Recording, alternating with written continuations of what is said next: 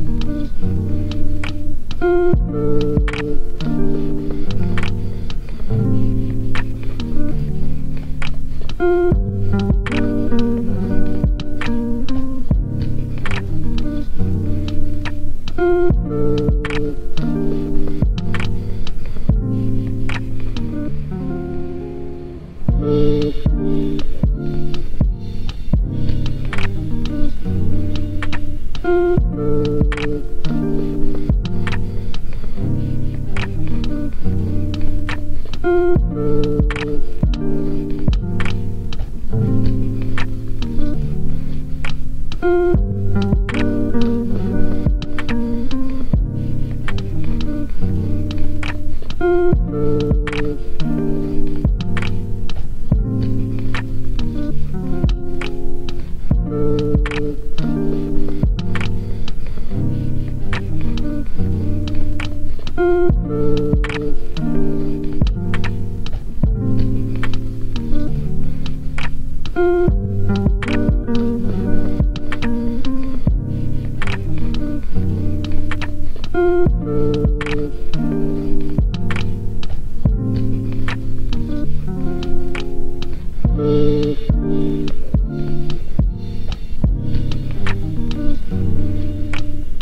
Mm-hmm.